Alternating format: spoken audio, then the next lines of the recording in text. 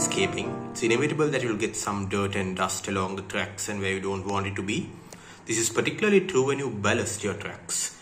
Here we can see I've just freshly ballasted this bit of track and I've got some spillage there. How do you clean such spillage? Well, one way of doing it is with like a normal domestic vacuum cleaner with a sock on the end to catch anything. But I found that my household vacuum cleaner is really strong and it tends to suck up some of the stones here that have been glued down but it still loosens them. So I would not even want to use it on places like this where I've done some little landscaping to mimic some flowers.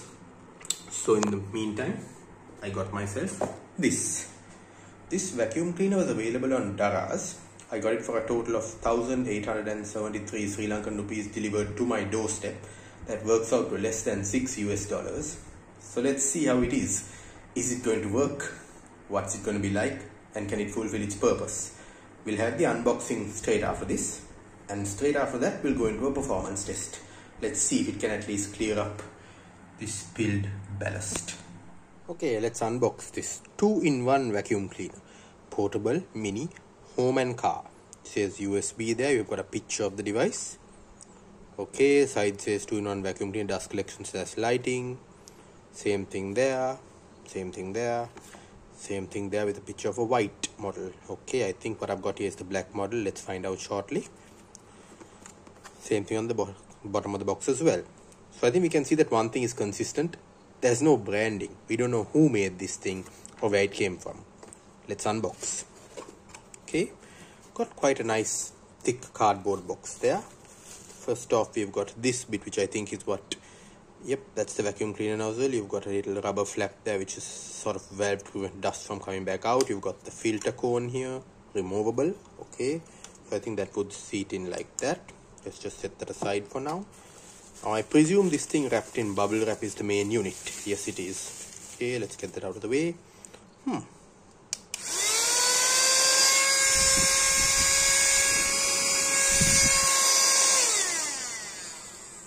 okay so first things first it works out of the box. So that's one concern that I had about buying this that's been allayed.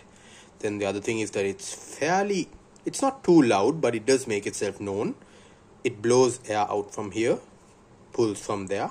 And I'm guessing that it assembles sort of like that okay? And then we've got a little brush nozzle here. I'm not entirely sure how that is gonna fit there I suspect there'll be like an attachment or something. Let's find out. And we've got this, which is the narrow nozzle, which is what you use for tight corners. The shape of it actually increases the vacuum's power. Okay, so I put that there and oh, I see. So that's how it works. So the narrow nozzle goes there and then the brush goes on top of the narrow nozzle, which I suppose makes sense because it increases the vacuum's power like I said before. Let's have a look. Yeah. I could feel.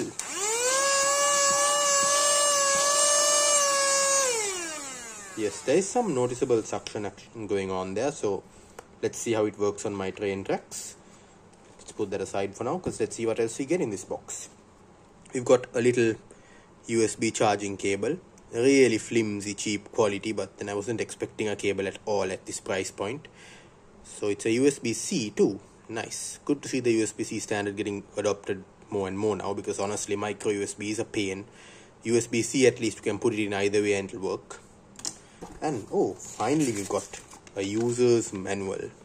Okay directions for use the wireless device. Okay fine. Yes it says how to assemble it how to charge it flat mouth and long mouth. Okay fold the wash clean. Okay i think that's something that got lost in translation on how to clean the filters and stuff Oh, we've got a little thing here saying after sales service. Okay, customer name, address, warranty card, product parameters.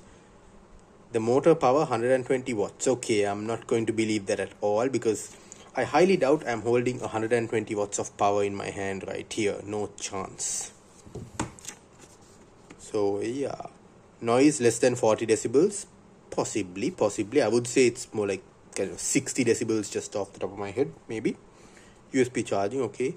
Matters needing attention do not remove repair okay all that thing. Do not start when charging please fully charge before using okay i'll do all that before we try it out then. Other side is exactly the same but in chinese i don't know if this is mandarin or what which dialect of chinese it is. Perhaps someone who knows can advise me what this is exactly.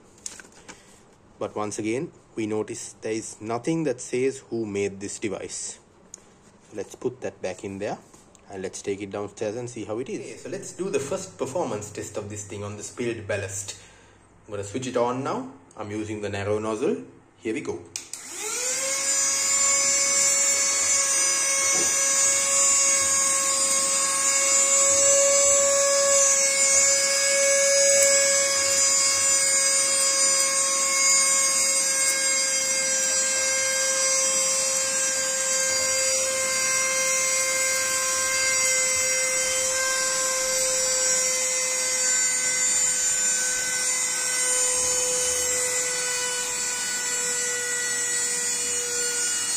Have a look inside the device there we can see it has nicely captured some excess ballast which I can now just tip into my ballast container and reuse so there's no wastage going on there as well.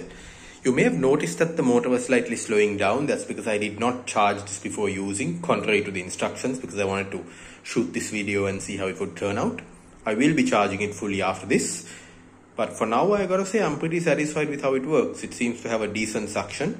You can see it has removed the loose ballast there, which was not glued down, but it has not affected the ballast that has been glued down. And that's what you want because that's what my home vacuum cleaner would do a bit. It would suck up some of the stuff that had been glued down as well.